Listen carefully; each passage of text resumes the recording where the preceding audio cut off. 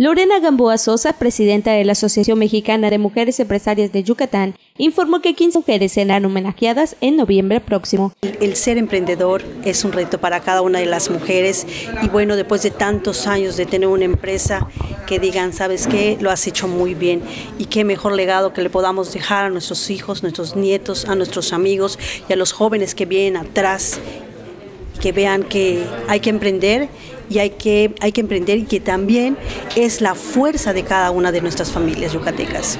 Las mujeres son reconocidas por su labor, por su entusiasmo y sobre todo por participar en el desarrollo económico de Yucatán y generar empleos formales. La entrevistada declaró que las mujeres también se preparan para poder manejar sus negocios y sobre todo cumplir con los reglamentos y requisitos municipales, estatales y federales. Hoy por hoy hablamos de la facturación digital 3.3, donde las empresarias tenemos que prepararnos para que podamos hacer las cosas bien.